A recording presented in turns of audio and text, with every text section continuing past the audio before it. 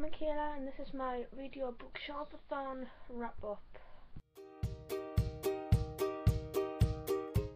So at the start of the week I made my TBR and that went totally out of the window because I couldn't get into the first book which was The Tilted World and I read 50 pages of that book and gave it back to the library and then swapped it out for The Mime Order by Samantha Shannon I always said that I, I wouldn't read this book because I didn't like the first one all that much, but since it's from the library, it's free, so I might as well have picked it up.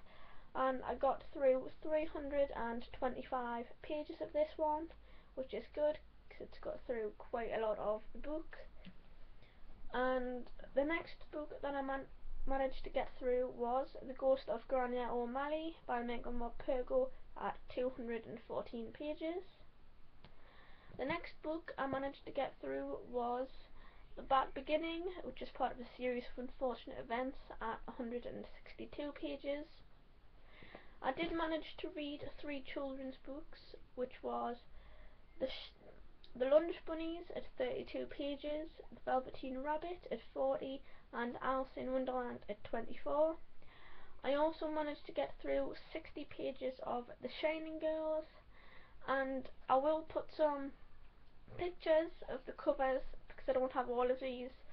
editions or anything so I'll put some pictures in.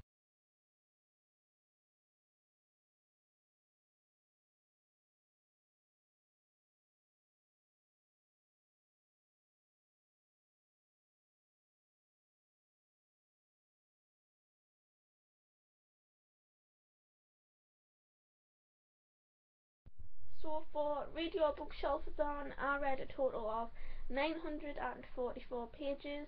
which for me is a very good number. I would have hoped for a little bit more but it's still great for me because I usually only read two book, maybe one book a week